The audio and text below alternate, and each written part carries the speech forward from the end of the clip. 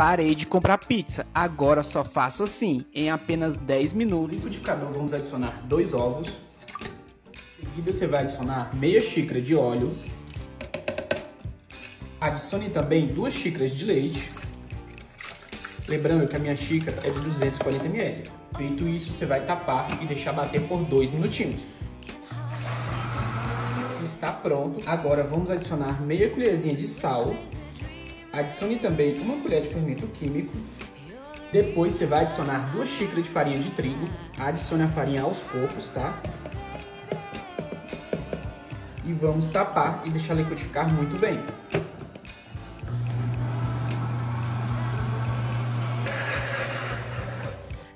Adicione o restante da farinha. Vamos tapar e deixar bater novamente. Aqui já está perfeito, nossa massa já está pronta. Agora você vai adicionar toda a massa em uma forma untada e enfarinhada.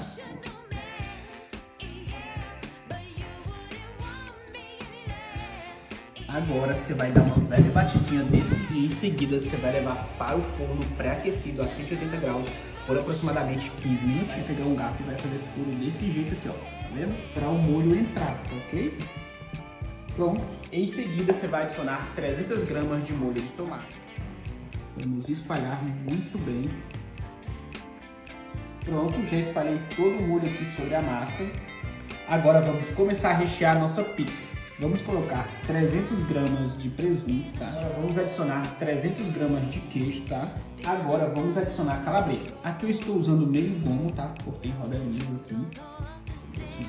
Depois você vai adicionar um tomate cortado em rodelas. Vamos levar para o forno pré-aquecido a 180 graus por aproximadamente a 20 minutinhos, até esse queijo derreter. Olha, a nossa pizza já está pronta, o cheiro está maravilhoso. Olha que delícia.